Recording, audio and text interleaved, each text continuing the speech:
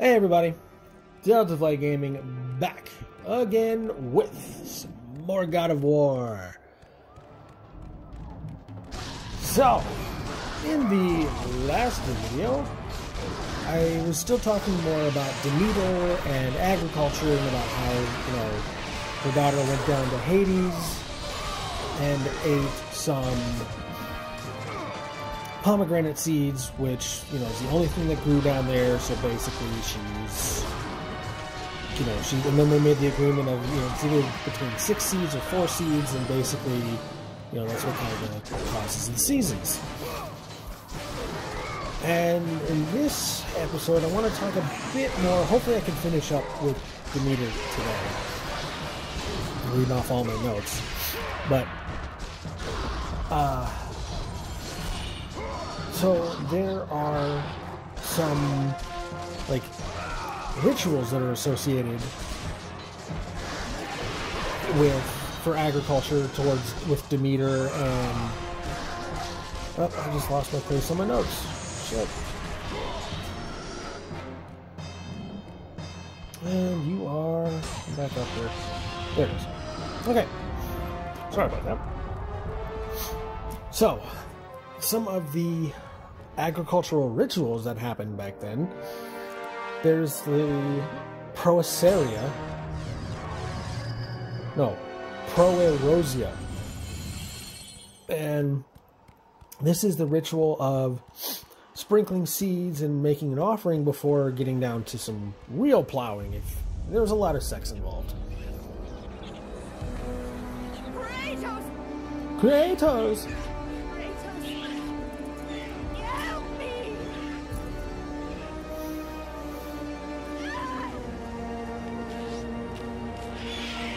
I always hated these enemies.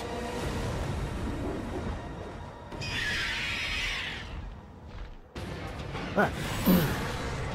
so, we had the Proerosia, which, which I just talked about. And then there's the Haloa, which was a ritual for women only, which is actually few and far between for where, you know, rituals devoted strictly to women. Uh, during the winter, during this, you know, ritual, they would pray for seeds. You know, could be, you know, pregnant seeds, or basically more toward more along the lines of, you know, good harvest, those kind of seeds, as well as praying not to die, which I guess that's a good thing. I don't really know a lot of people that are like, you know what, I just want to die. Just let me pray to die. But during this ritual, this festival, instead of the women setting up the feast and then leaving so the men can do, you know, have their fun, it's the reverse. The men set up the feast and then they just, you know, go away and let the women do the whole, have their fun. And they'll eat basically dick-shaped cookies and cakes and things like that, tell dirty jokes, and get super drunk on wine. Uh, I mean, I really don't see much of a downside to that for women. If, I mean, unless it's like, you know, I don't know. I'm, I don't think I've ever had a wine hangover, so I don't know what that's like.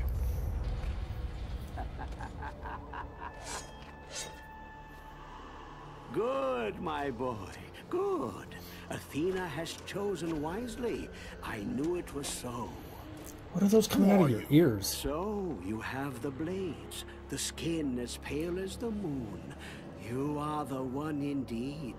Perhaps Athens will survive at that. but be careful. Don't want you dying before I'm done with this grave. A grave? In the middle of a battle? Who will occupy it, old man? You will, my son.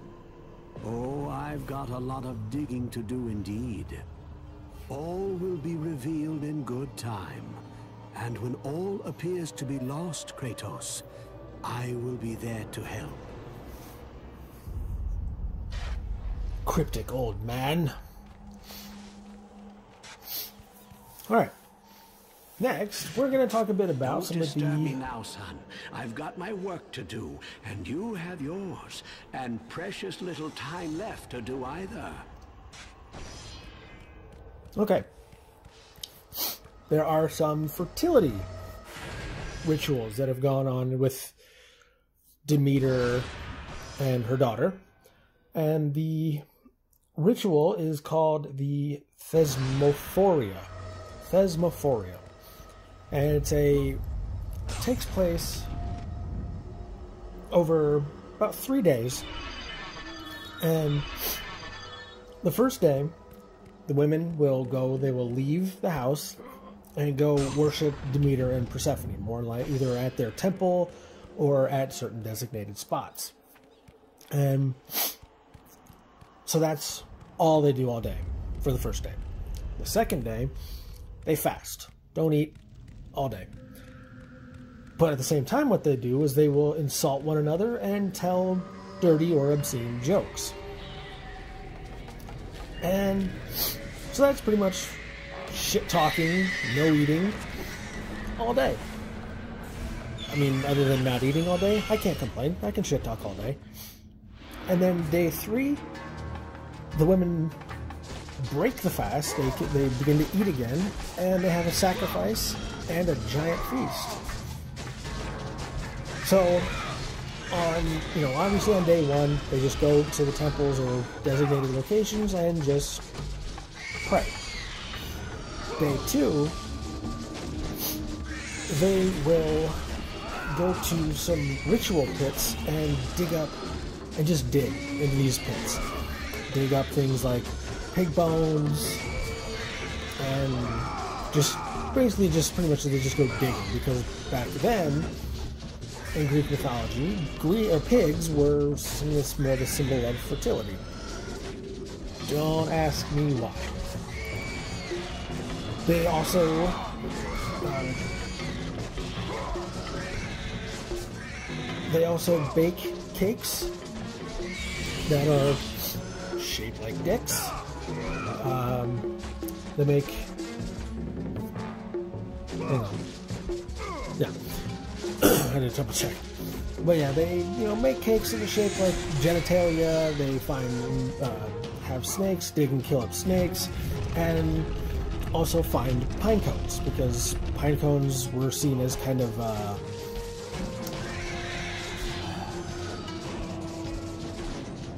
oh, what's the word I'm looking for? I mean, granted, pine cone is a seed, so like you know, it's kind of it kind of goes along the whole like fertility. You know, we offer up you offer we offer up a pine cone because it offers a seed, so you know, in, in hopes that we get either you know our husband gives us a seed or we have a good harvest. You know that kind of seed, and they will collect. You know, they will take snakes, the snakes, the pine cones, as well as the cakes and on the third day, they will sacrifice to Demeter and Persephone some things such as, you know, basically they'll, they'll eat the cakes, sacrifice the pig as well as the snake, and offer up the pine cone, you know, just in all hopes of trying to. Uh, become more fertile or be able so that way, or maybe they're you know, they're, they're praying to Demeter and Persephone for maybe their friend, maybe a family member becomes fertile. You know, just kind of something along those basic lines.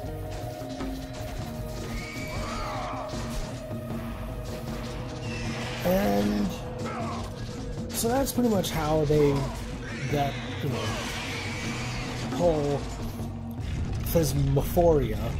There's three days. It's pretty much what they do. Which I mean, overall, that's not really like a bad thing for three days. You kind of go, you get to leave the house, go hang out somewhere else. You pray to the to the two gods,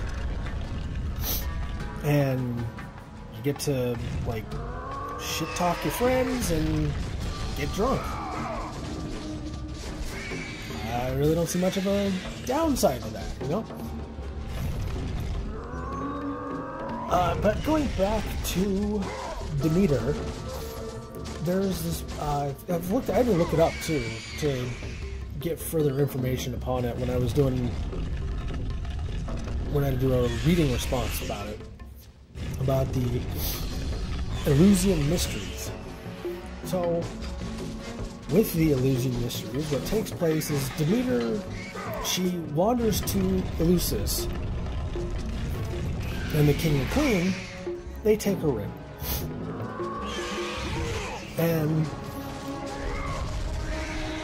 there's a way to kind of like thank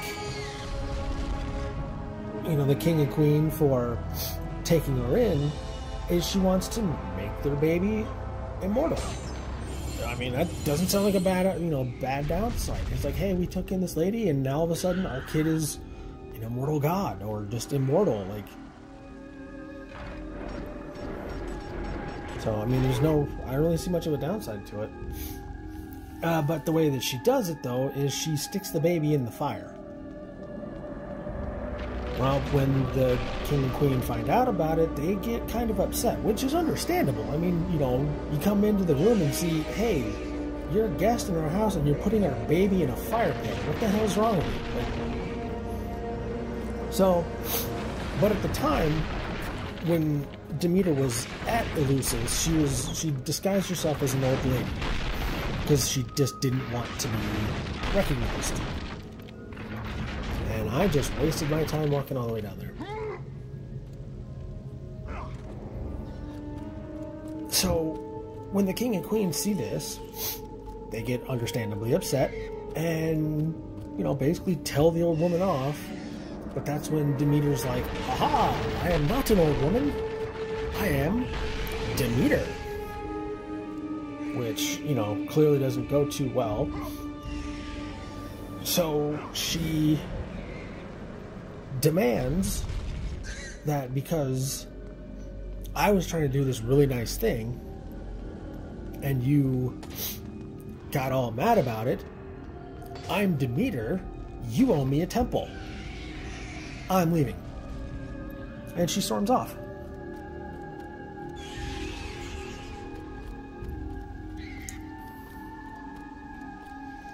And so, this takes place roughly towards the the illusion Mysteries. It's more like a festival now, and it takes place in September for a week.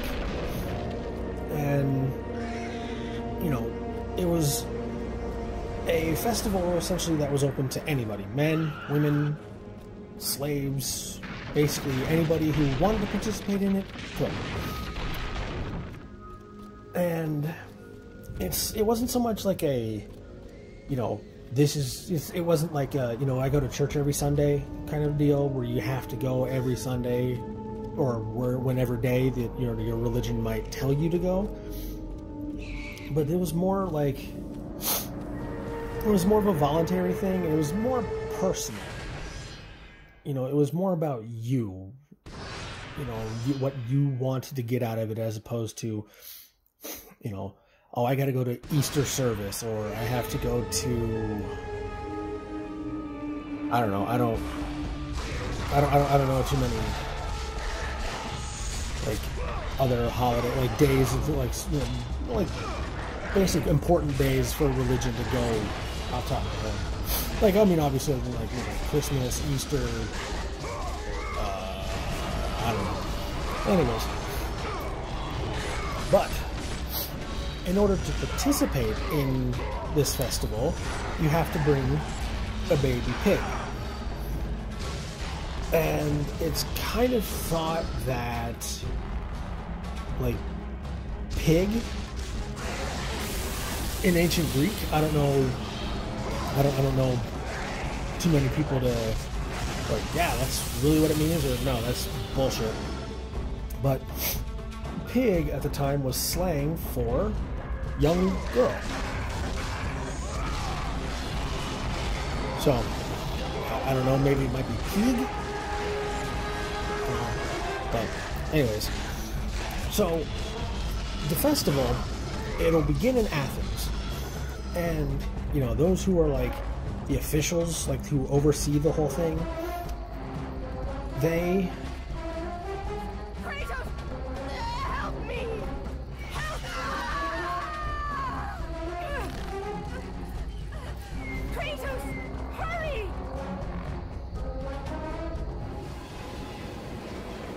All right, looks like we got some work to do.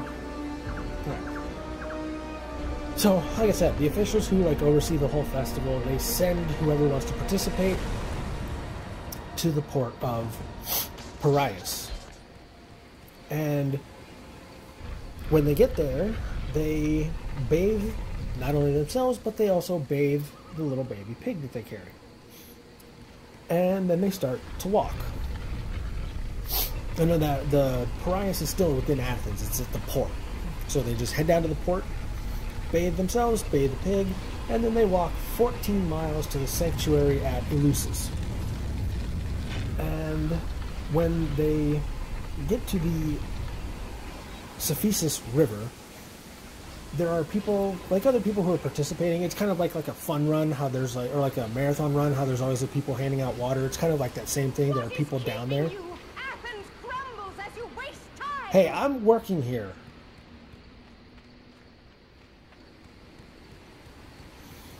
So, anyways, so when you know when they meet, they- when they uh, when people who are attending the festival get to the Cephisus River, the people who are there are wearing masks with like looking like people, you know, younger men, women, whichever, and they kind of mock you. Ha ha ha! Look at you! You won't finish. Blah blah blah. Kratos, Yeah. get me down! Lady, I'm working. So, while they're on their walk, that 14 miles, they're not eating. You know, it's just, you just have to go. You know, you can't bring food, can't bring water, you just have to go. And when they finally get to! Eleusis, they sacrifice the pig. Baby pig is gone, and offer up cakes as well as barley, which I You don't remember. Is barley like a herb, like a oregano kind of herb? I don't remember. I know I've heard it before, but they offer up the the cakes and the barley to Demeter. And once they get done, they you know walk around the sanctuary, just kind of enjoy the festival. That it's they made it that far, kind of thing. And you know, once they get done walking around that, then they enter what is known as the Telestrion, which is the temple of Demeter, and it's the you know temple for the sacred rites, and for anyone who wants to be uh, for those rites to be initiated. And the thing is, is not a lot is known about what goes on inside the temple. Mo- most is just because of the fact that it's still it was like a really like wide kept secret. And anyone who wanted to be an initiate, they were taught some sort of ritual or some sort of like sacred oath or vow that they, you know, swore to secrecy not to tell. And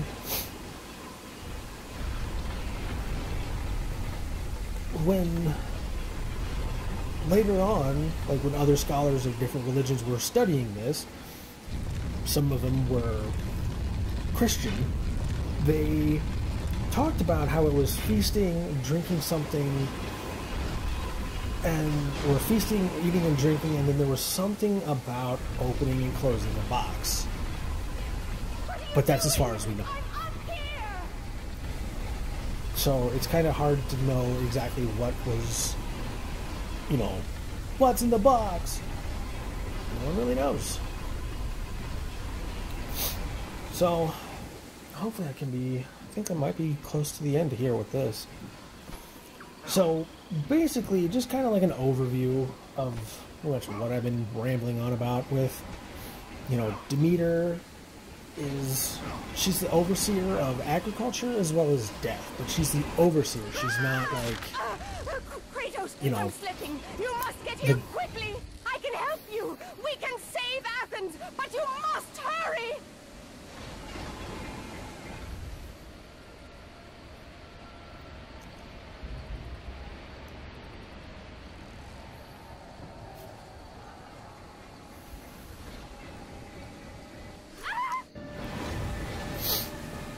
Yes, I know how to wall jump. Thank you. Well, now I'm timed. Alright. Like I said, Demeter, she's the overseer of agriculture. As we know, you know, she stopped doing her duties when her daughter went missing. And like I said, it's kind of the overseer of death as well, because the fact that, you know, when she stopped doing her duties, pretty much everybody's harvest just died. Um,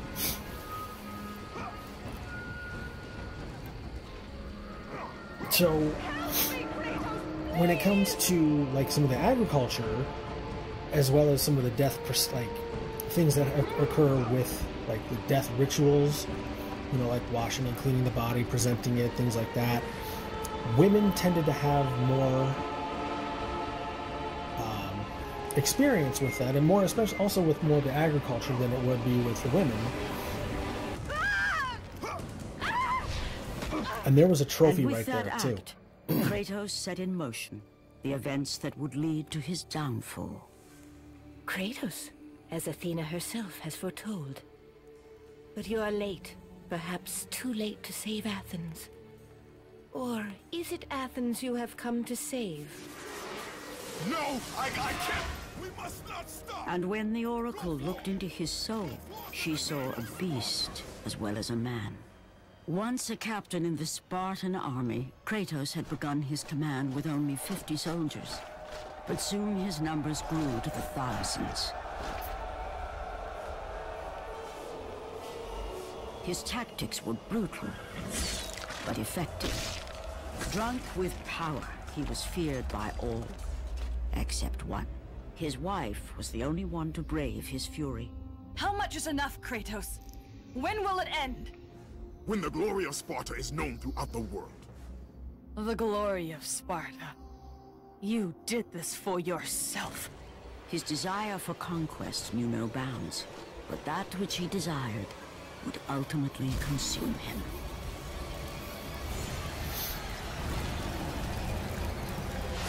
By the gods, why would Athena send one such as you? Stay out of my head! Choose your enemies wisely, Kratos.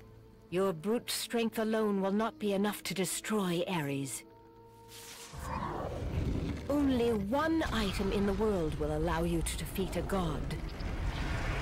Pandora's box, which lies far beyond the walls of Athens, hidden by the gods across the desert to the east. But be warned, Kratos. Many have gone in search of Pandora's box. None have returned.